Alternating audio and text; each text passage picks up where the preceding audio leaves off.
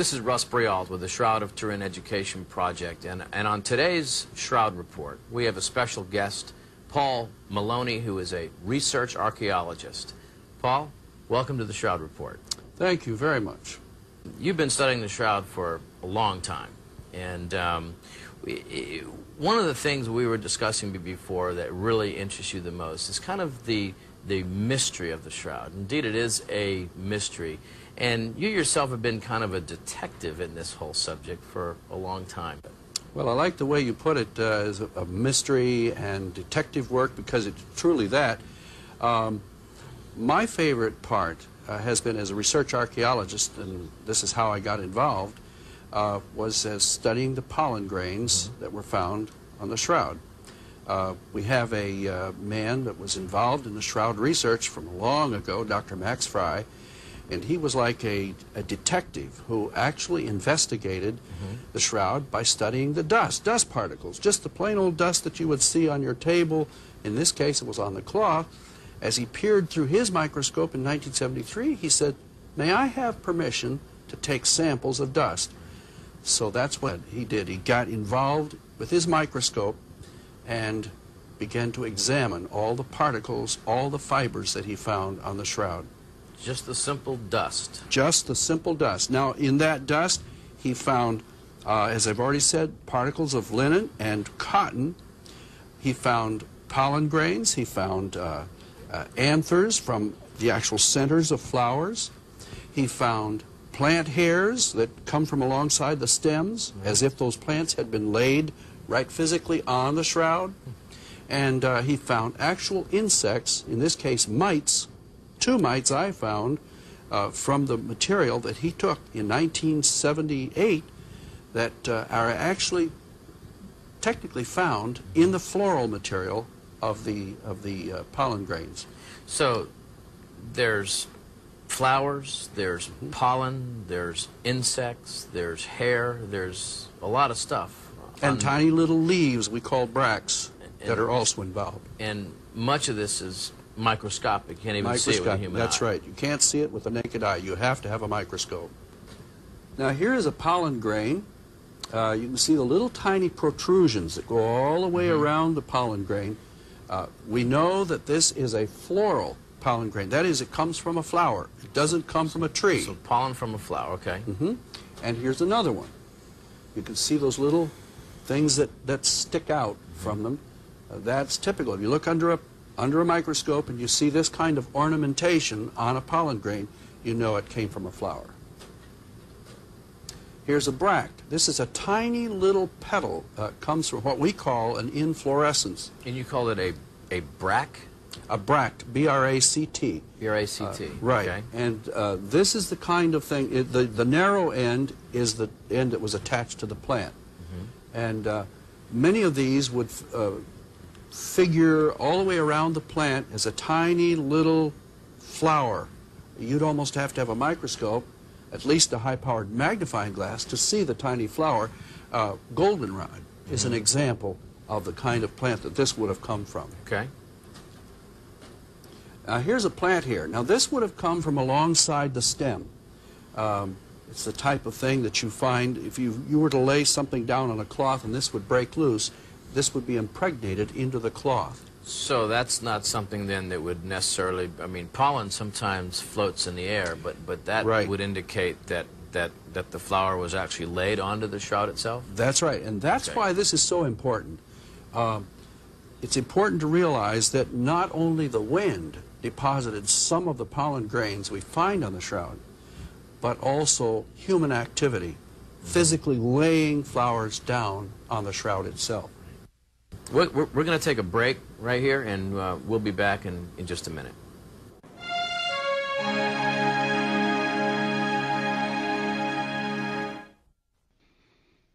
The Shroud of Turin Education Project offers a live, big screen multimedia presentation for all audiences.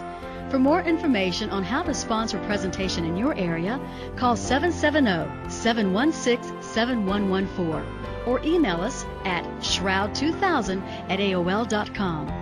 Check out our website at www.shroud2000.com. help bring the mystery and the message of the shroud to your community soon.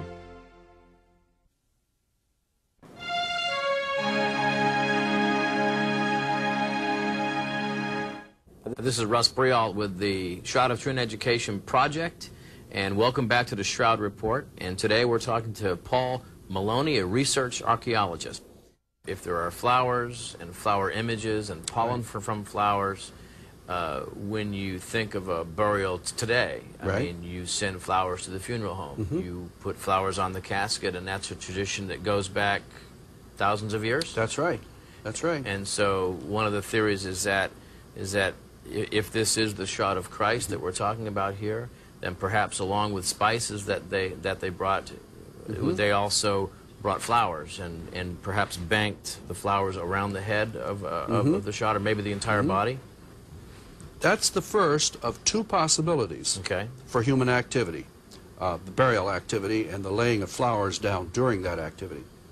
The second is that if this is considered by the followers of Christ later years to have been the burial cloth of Jesus, they often used flowers, particularly in the Eastern Rite, to lay flowers down on the what they call the epitaphios, literally laying the flowers down.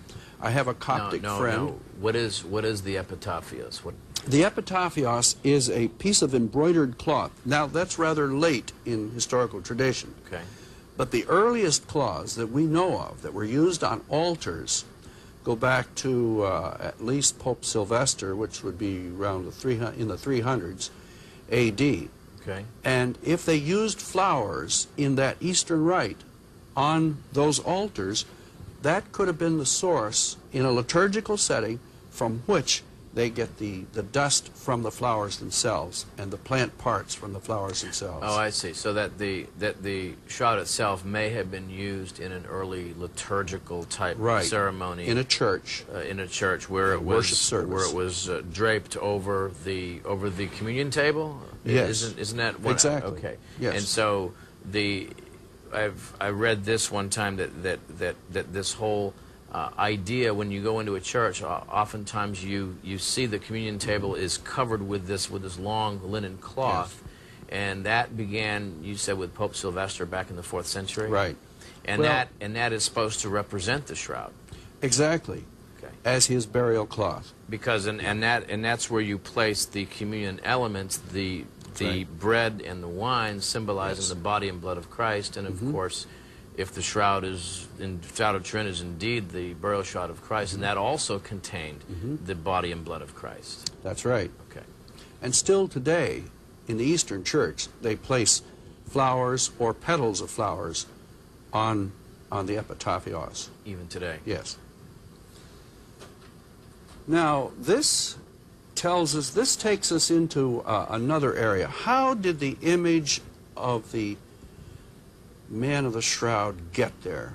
Mm-hmm. And that has plagued the minds of a lot of detectives in this great mystery. that really is the central mystery of the That of the shroud Now, a Frenchman, a pharmacologist by the name of Dr. Jean Roch- Volckringer, proposed that the inside books, when you open a book and you find the stain of plants that have mm-hmm. been kept there, and many herbariums and even people who just save plants uh, in their library, uh, put them in a book and put them on the shelf and leave them there for years, when they open them, they see this imprint. And you can see here's a here's a fern on the one side, on the right hmm uh-huh, and then on the left is the imprint from that fern. Now that paper has picked up that image. Now one of the features on the shroud is that the image on the shroud is three-dimensional. Let's take a look at what a plant might look like in under a VP8 image analyzer, which has been used to right to evaluate the image in 3D. okay Now, this is an example. It's not the same one that I just showed you, mm-hmm. but in your mind's eye, visualize that this has a counterpart in the way of a Volckringer pattern. You put this in under the VP8 image analyzer, take a look. Everything you put under a VP8 always will produce an image. Right. And it will sometimes, to the untrained eye, look like it is three-dimensional. But now take a look at the edges here. Notice how the edges rise up and there's what appear to be veins Right. in the center. And notice that those veins are higher They seem raised than- up. That's mm-hmm. right. Mm-hmm. This tells you that this has genuine 3D coding in the image. information. That's right. Mm-hmm. That's right. Now this is a contact print, obviously, because it was mm-hmm. in, in some book or on some piece of paper in a herbarium. But you can see because of the veining in the cen- So, center, Is it that moves. why is that then? Why why would that why would a contact print have three-dimensional qualities? Mystery. Mystery. We are back to the mystery again. okay. Now, Dr. Alan Mills in England has proposed uh, some ideas he thinks might explain it, but as of the present time, we still do not know. Okay. Hypotheses are available and they need to be tested, and Dr. Alan Now, Mills is has there some one. kind of radiation that's at, at, at, at, at work here in the creation of these plant images? We don't know. Okay. It may be strictly chemical. Is it what what what, what is um, uh, I, I've I've read things about that that this is referred to as a coronal image. This is not a coronal image. Okay, this is not a coronal. This is a contact image. You're going to show is- me a coronal image I, next. I am I'm shortly going to show you one. Okay. Yes, indeed. In fact, let's go to that right now. I want to show you the man, though, who is the one who investigated coronal images. This is Oswald Scheuermann That's right. of uh, near uh, near uh, Nuremberg, Germany. This man used German coins, and he used what he calls what we now know today as uh, Kirlian photography. Um, it was done by a, it was invented by a Russian scientist, and uh, Scheuermann used Kirlian photography to take this coin, and then what he did, he laid it on cloth, and then he applied his electrical discharge unit, which produced a coronal image. And now this on cloth is the coronal image of the coin you just saw. I see. hmm Now uh, this looks a lot like what you see on the shroud. Right. Similar coloration. That's right. And um, and is it now is is when when you look at something like this, uh, what are what are some of the other qualities that this would have that would be similar to the shroud? Well, uh, Scheuermann has demonstrated that it also has three-dimensionality to it. It is okay. Right. And he has even explained it by, he did an experiment by tilting a coin on a tiny little uh, prop and then getting the high point, which was on the low side, and the, and the uh, distance point up here, because it was tilted off the, the, the uh, cloth. And then he did his Kirlian photograph and demonstrated there was distance information from that tilted coin. Wow. Okay. Well, this is why it makes it so difficult for us to decide whether Jean Volckringer was correct with his contact print, Right. which contains distance information, or whether Scheuermann is correct. Now, there are other, other proposals as well that may also have distance information, but uh, these are two that we can illustrate here today. Right. So these both of these examples would indicate that that the image on the shroud uh, perhaps can be explained by some kind of radiation transfer. The first view, the Volckringer pattern, would be strictly a contact print and a chemical interaction. Okay. That would not be radiation. Okay. The second view, the coronal discharge, may well be radiation. But now I'm not a physicist, so if you want to delve into the physics, you'll have to get another detective who specializes in the detection of physics. And uh, we have several of those involved in shroud research. That's just fascinating stuff, Paul. It really is. And um, we're, we're, we're going to take a break right here, and uh, we'll be back in, in just a minute.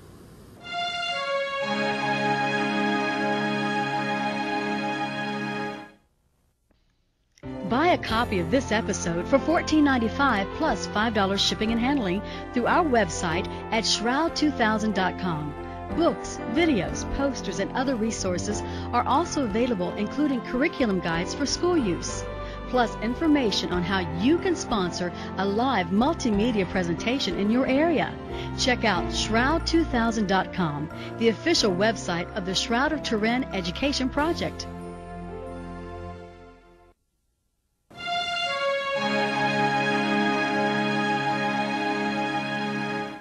This is Russ Breault with the Shroud of Turin Education Project, and welcome back to the Shroud Report. And today we're talking to Paul Maloney, a research archaeologist. Paul, we were talking during the break about so many different avenues of science that have been employed in the research and analysis of the Shroud. What are what are what are some of the some of the avenues that, that have been used so far? Well, I think, Russ, I once counted some 61 or 62 subdisciplines of research that have already been applied to the shroud itself. And it ranges all the way from art history to classical history, uh, all the way to chemistry, uh, hematology, uh, physics, uh, textile, textile chemistry itself.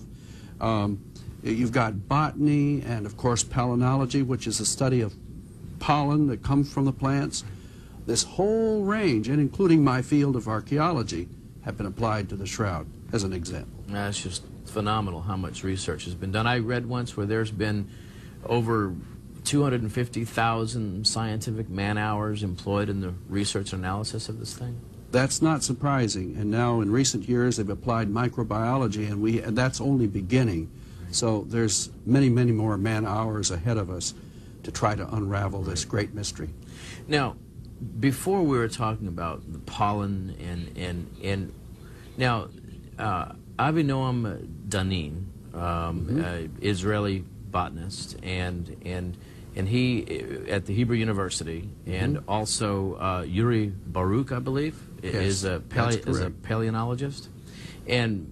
Um, are you familiar with their work? And maybe you can Yes, tell in me fact, what they've done is really quite exciting. Now, Dr. Alan Whanger has proposed 28 different images, floral images, embedded in the shroud cloth itself.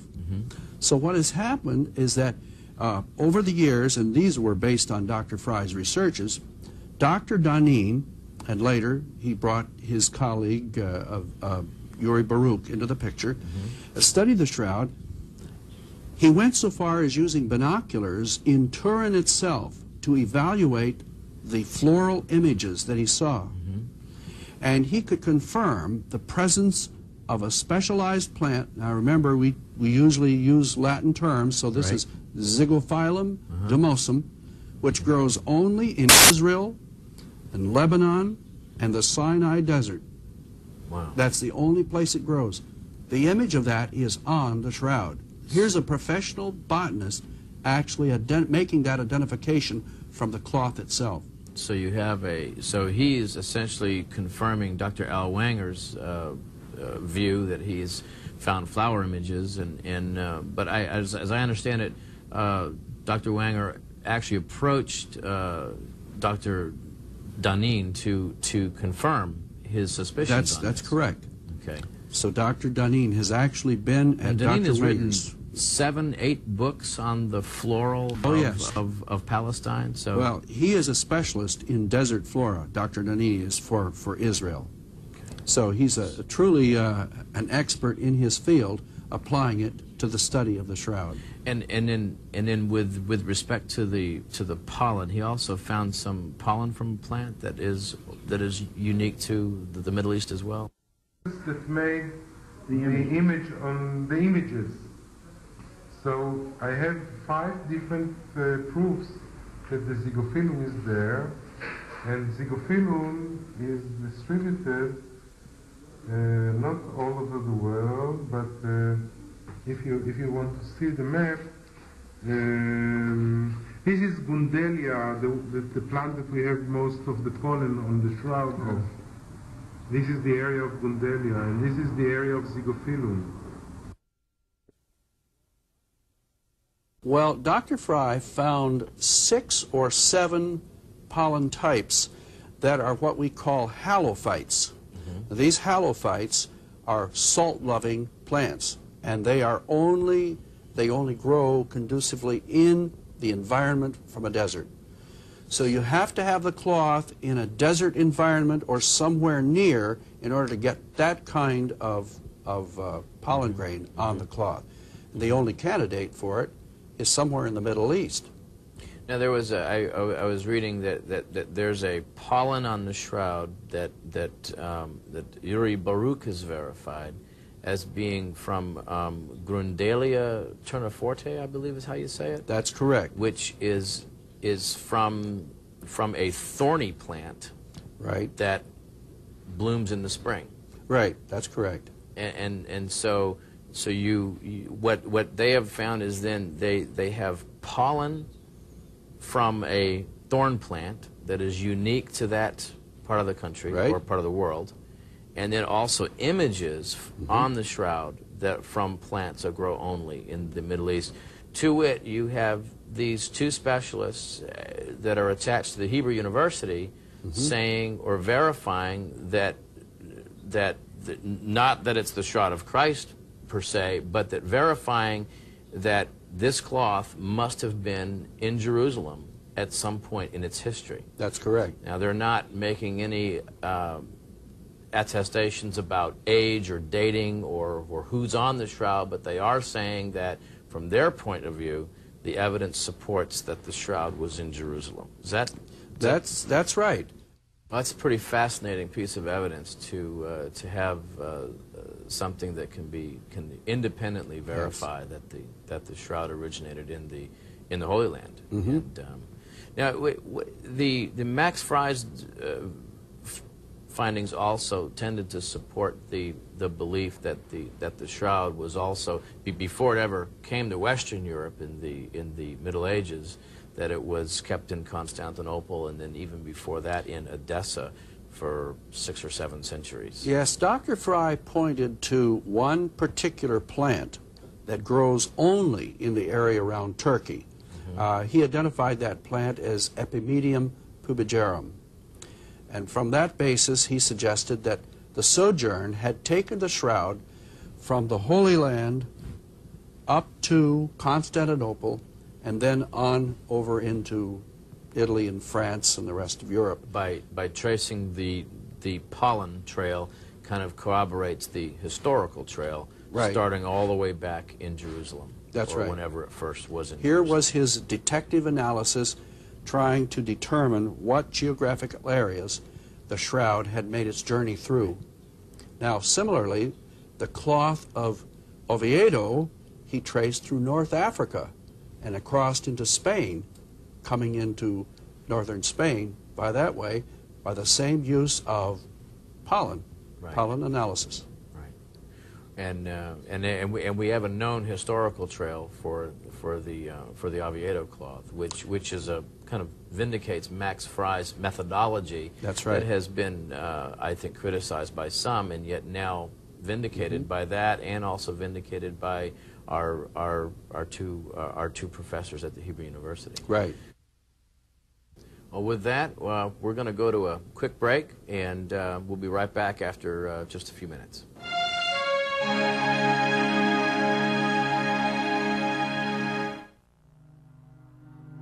The Shroud of Turin. In the last 25 years, it has become the most studied artifact in human history.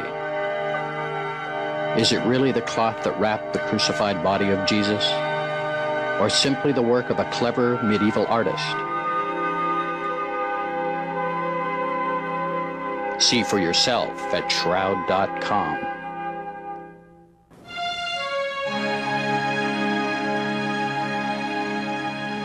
Hi, this is Russ Breault uh, with the Shroud Report, and our guest today has been Dr. Paul Maloney. I want to thank you very much for being here. It's a lot of fascinating information that you've brought to us.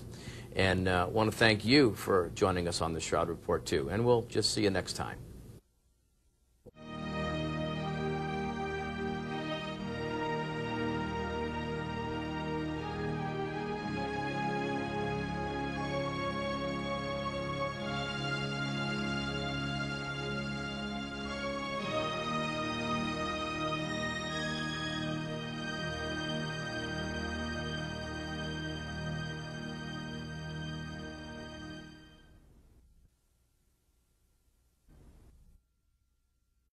Image analyzer, take a look. Everything you put under a VP8 always will produce an image. Right. And it will sometimes, to the untrained eye, look like it is three-dimensional. Mm-hmm. But now take a look at the edges here. Notice how the edges rise up and there's what appear to be veins Right. in the center. And notice that those veins are higher They seem raised than- up. That's mm-hmm. right. Mm-hmm. This tells you that this has genuine 3D coding in the image. information. That's right. Mm-hmm. That's right. Now this is a contact print, obviously, because it mm-hmm. was in, in some book or on some piece of paper in a herbarium. But you can see because of the veining in the cen- So, center, Is it that moves. why is that then? Why why would that why would a contact print have three-dimensional qualities? Mystery. Mystery. We are back to the mystery again. okay. Now, Dr. Alan Mills in England has proposed uh, some ideas he thinks might explain it, but as of the present time, we still do not know. Okay. Hypotheses are available and they need to be tested, and Dr. Alan Now, Mills is has there some one. kind of radiation that's at, at, at, at at work here in the creation of these plant images? We don't know. Okay. It may be strictly chemical. Is it what what what, is um, uh, I, I've I've read things about that that this is referred to as a coronal image. This is not a coronal image. Okay, this is not a coronal. This is a contact image. You're going to show is- me a coronal image I, next. I am I'm shortly going to show you one. Okay. Yes, indeed. In fact, let's go to that right now. I want to show you the man, though, who is the one who investigated coronal images. This is Oswald Scheuermann That's right. of uh, near uh, near uh, Nuremberg, Germany. This man used German coins, and he used what he calls what we now know today as uh, Kirlian photography. Um, it was done by a, it was invented by a Russian scientist, and uh, Scheuermann used Kirlian photography to take this coin, and then what he did, he laid it on cloth, and then he applied his electrical discharge unit, which produced a coronal image. And now this on cloth is the coronal image of the coin you just saw. I see. Mm -hmm. Mm -hmm. Now, uh, yes, Isn't, isn't that what Exactly. okay. Yes. And so the I've I read this one time that that that that this whole uh, idea when you go into a church, o- oftentimes you you see the communion table is covered with this with this long linen cloth, and that began you said with Pope Sylvester back in the fourth century. Right. And Well- that and that is supposed to represent the shroud. exactly, Okay. as his burial cloth. because and, and that and that's where you place the communion elements the the right. bread and the wine symbolizing Yes. Mm-hmm. the body and blood of Christ and of course if the shroud is in shroud of Turin is indeed the burial shroud of Christ and that also contained Mm-hmm. the body and blood of Christ That's right. okay And still today, in the Eastern Church, they place flowers or petals of flowers on on the epitaphios. even today Yes. Now, this tells us, this takes us into uh, another area. How did the image of the man of the shroud get there?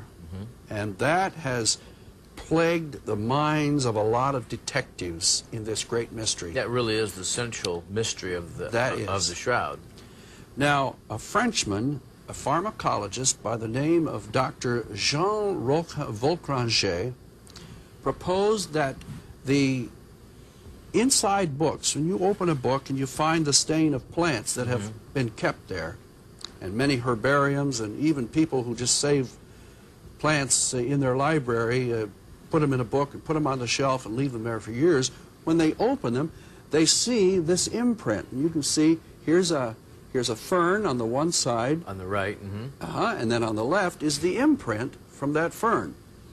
Now that paper has picked up that image.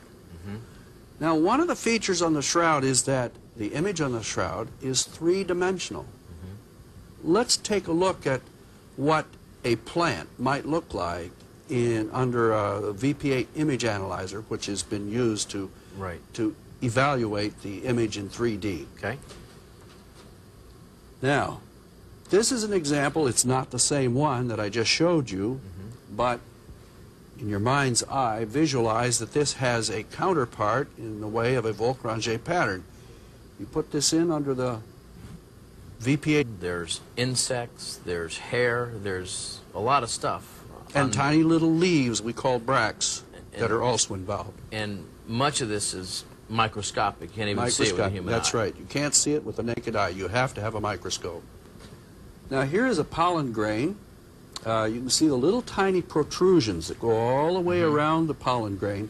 Uh, we know that this is a floral pollen grain. That is, it comes from a flower. It doesn't come from a tree. So pollen from a flower, okay. hmm And here's another one. You can see those little things that, that stick out from them. Uh, that's typical. If you look under a, under a microscope and you see this kind of ornamentation on a pollen grain, you know it came from a flower. Here's a bract. This is a tiny little petal. Uh, comes from what we call an inflorescence. And you call it a, a brack? A bract, B-R-A-C-T. B-R-A-C-T. Uh, right. Okay. And uh, this is the kind of thing, it, the, the narrow end is the end that was attached to the plant. Mm-hmm. And uh, many of these would uh, figure all the way around the plant as a tiny little flower. You'd almost have to have a microscope, at least a high-powered magnifying glass, to see the tiny flower. Uh, goldenrod is Mm-hmm. an example of the kind of plant that this would have come from. Okay. Now here's a plant here. Now this would have come from alongside the stem. Um, it's the type of thing that you find if you, you were to lay something down on a cloth and this would break loose, this would be impregnated into the cloth. So that's not something then that would necessarily, I mean, pollen sometimes floats in the air, but, but that Right. would indicate that, that, that the flower was actually laid onto the shroud itself? That's right, and that's Okay. why this is so important. Um, it's important to realize that not only the wind deposited some of the pollen grains we find on the shroud, but also human activity, physically laying flowers down on the shroud itself. We're, we're, we're going to take a break right here, and uh, we'll be back in, in just a minute.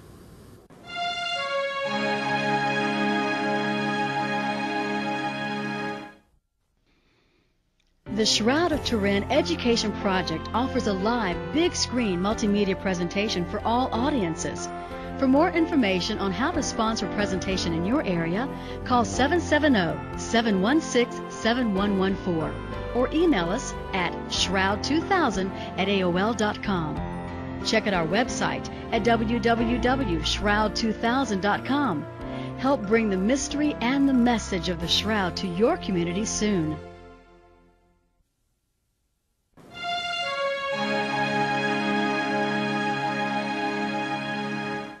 This is Russ Breault with the Shroud of Turin Education Project, and welcome back to the Shroud Report. And today we're talking to Paul Maloney, a research archaeologist.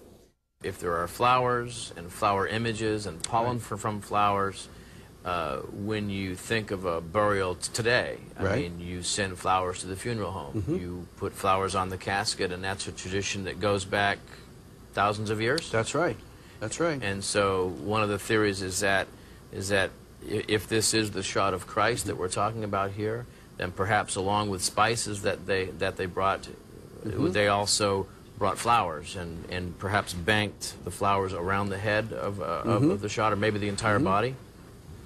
That's the first of two possibilities Okay. for human activity uh, the burial activity and the laying of flowers down during that activity. The second is that if this is considered by the followers of Christ later years to have been the burial cloth of Jesus, they often used flowers, particularly in the Eastern Rite, to lay flowers down on the what they call the epitaphios, literally laying the flowers down. I have a No, Coptic no, friend. no. What is what is the epitaphios? What? The epitaphios is a piece of embroidered cloth. Now, that's rather late in historical tradition. Okay. But the earliest cloths that we know of that were used on altars go back to uh, at least Pope Sylvester, which would be around the 300, in the 300s AD. Okay. And if they used flowers in that Eastern rite on those altars, that could have been the source in a liturgical setting from which they get the, the dust from the flowers themselves and the plant parts from the flowers themselves. Oh, I see. So that the that the shroud itself may have been used in an early liturgical type right. ceremony In a church. uh, in a church where A it worship was service. where it was uh, draped over the over the communion table.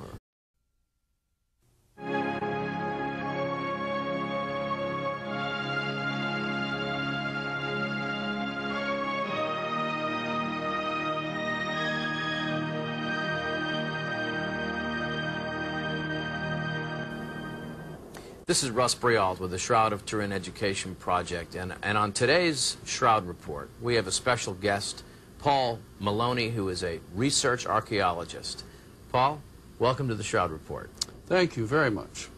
You've been studying the Shroud for a long time, and um, we, one of the things we were discussing before that really interests you the most is kind of the the mystery of the Shroud. Indeed, it is a mystery, and you yourself have been kind of a detective in this whole subject for a long time. Well, I like the way you put it uh, as a, a mystery and detective work because it's truly that. Um, my favorite part uh, has been as a research archaeologist, and this is how I got involved, uh, was as studying the pollen grains that were found on the shroud. Uh, we have a uh, man that was involved in the shroud research from long ago, Dr. Max Frei, and he was like a, a detective who actually investigated mm-hmm. the shroud by studying the dust, dust particles, just the plain old dust that you would see on your table. In this case, it was on the cloth. As he peered through his microscope in 1973, he said, May I have permission to take samples of dust? So that's what he did. He got involved with his microscope and began to examine all the particles, all the fibers that he found on the shroud. Just the simple dust. Just the simple dust. Now, in that dust, he found, uh, as I've already said, particles of linen and cotton. He found pollen grains. He found uh, uh, anthers from the actual centers of flowers. He found plant hairs that come from alongside the stems, as if those plants had been laid right physically on the shroud. And uh, he found actual insects, in this case mites, two mites I found uh, from the material that he took in 1978 that uh, are actually technically found in the floral material of the, of the uh, pollen grains. So there's flowers, there's pollen,